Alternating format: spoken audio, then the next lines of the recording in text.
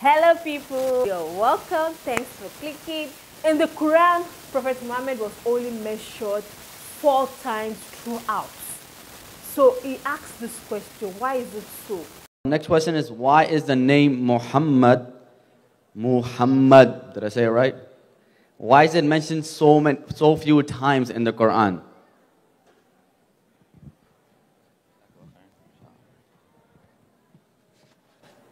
Alhamdulillah, all praise and thanks are due to Allah. The name Muhammad sallallahu alaihi wasallam, mim ha mim dal, is mentioned four times in the Quran.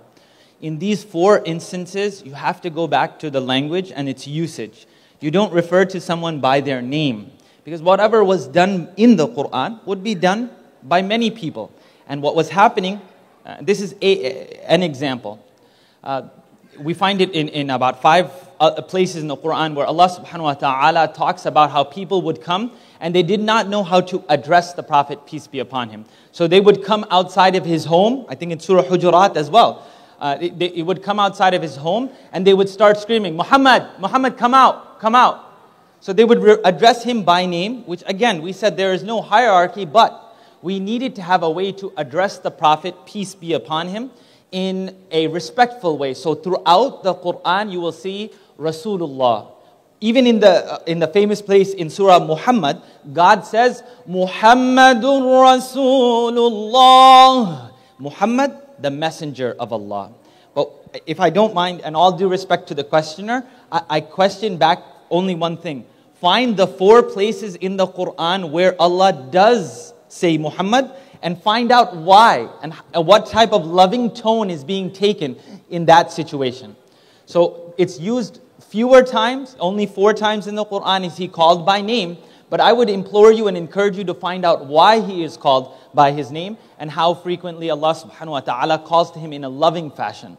And this connects directly to Brother Noman's question. Why was he? Is there are gems, but at the end of the day, we believe Quran to be from Allah, our creator.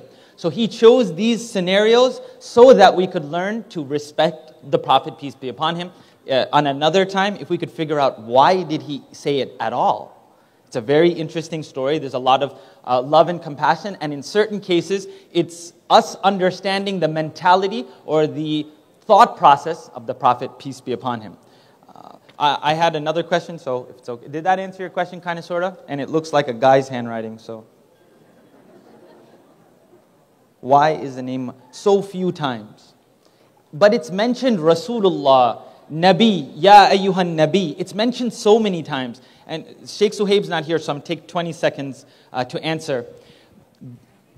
God speaks through Quran, right? So he speaks through this text. He also knows that the reader is of different, uh, different states. Um, we just heard someone read Quran in the bathroom, right? Not recommended, not the best thing to do. But hey, if you're on a journey, you're on a journey. You got to do what you got to do. But in this, we realize that the Prophet ﷺ, when he was receiving Quran or reciting Quran in Surah Kahf, and in many places in the Quran, Abasa wa it is, he's spoken to in a very stern fashion, and, but his thought process comes through. Do you remember what in Surah Kahf when Allah subhanahu wa ta'ala said, and it is as if you wanted to take your own life? You guys kind of nod for a second? Okay. Just pretend. It's okay. So, yes, so that's the mentality. So when the Prophet, peace be upon him, is addressed by name, there's a mentality that he's receiving and that he is saying and how we should treat him, how we should speak to him. But you will also find that Allah subhanahu wa ta'ala is very loving and caring with the Prophet, peace be upon him. Did you ever notice in the beginning of Qul Ya ayyuhal kafirun?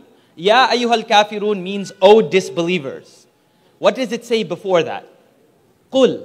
Why does God have to encourage him to say it? because his nature is so soft that he can't walk up to people and be like, hey, disbeliever, infidel. It wasn't in his nature.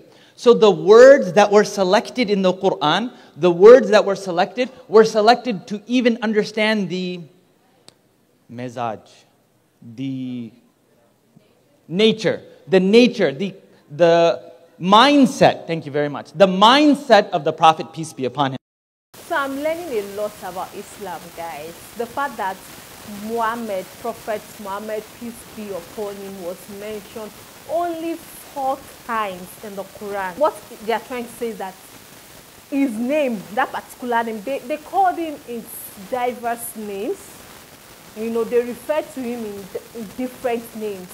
But they called him Muhammad, the particular name Muhammad, four times.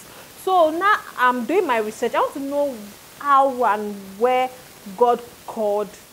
So um, I just did a research now on Google to know how many times Allah mentioned Muhammad and which verses. Okay, the word Muhammad was mentioned four times in Quran in four verses. That's what the Quran says. So I'm learning as a non-Muslim. I, I need to know the verses. So this is um I don't know. This one says three verse. I don't know. It's saying chapter three verse one forty four. Muhammad is not but a messenger. Messengers have passed on before him. So if he was to die or be killed, would you turn back on your heels to unbelief? And he who turns back on his heels will never harm Allah at all, but Allah will reward the grateful. So it's just trying to tell us that Muhammad is a messenger in this particular verse. Do what Allah says, believe in Allah, will be rewarded. So the second place, Muhammad is not the father of any of your men, but is the messenger of Allah and last of the prophets, and whoever is Allah of all things knowing. Okay, that's the second time Prophet Muhammad's name was mentioned in the Quran. So that particular verse was saying that he's a messenger, he's nobody's father, but he's a messenger of Allah and he's the last prophet. That's what Quran lets us know. So the, the third verse says, And those who believe and do righteous deeds and believe in what has been sent down upon Muhammad and it is the truth from their Lord. Wow. So was Allah referred to Lord in Quran? Wow, that was good. I never knew Allah was referred to Lord in the Quran. Okay, it will remove from them their mistakes and amend their condition. So in this chapter, he's trying to say that whoever believes and do righteous deeds, and you also believe in Prophet Muhammad that was sent, so that means God will remove all your misdeeds and amend your condition. So the last chapter, Muhammad is the messenger of Allah, and those with him are forceful against the disbelievers, merciful among themselves. You see them bowing and prostrating in prayer, seeking both, boating from Allah and His pleasure. Their mark is on their face from the trace of prostration. That is their descriptions in the Torah. And the description in the gospel is as is as a plant which produces off shoots and strengthens them so they grow firm and stand upon their stocks. Allah has promised those who believe and do righteous things among them forgiveness and a great reward. So these are the four verses that Muhammad was mentioned. And all these verses, God was just trying to tell us that people should do good deeds, that Prophet Muhammad is the messenger, is the last prophet, is after God's act.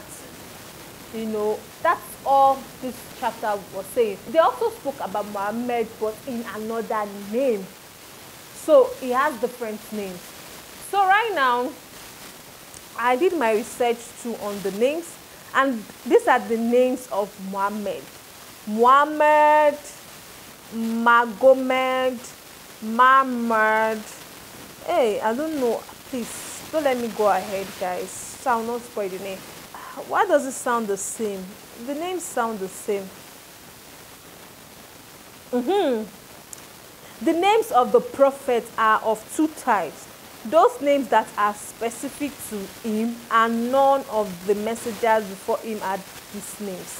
So apart from Prophet Muhammad being referred as Muhammad, they also called him these names in the Quran. So anytime you find this name in the Quran, it is it is Prophet Muhammad they are referring to. So the other names are Ahmad, Al-Haq, Al-Aqib, please pardon me if I'm not mentioning it well. Al oh God. Alumuf. Oh, I cannot pronounce these names, guys. I'm finding it difficult to pronounce that. If you say anywhere Prophet Muhammad was not mentioned as Prophet Muhammad, it's either you see these other seven names and the one they are talking about or the Quran is referring to. So this was a beautiful one. I'm just learning this for the first time as a non-Muslim and I'm mind blown. Prophet Muhammad's name, Muhammad, was not mentioned more than four times. But he has seven other names. And that was beautiful too. Thank you so much for watching guys. I'll see you in the next one. Bye.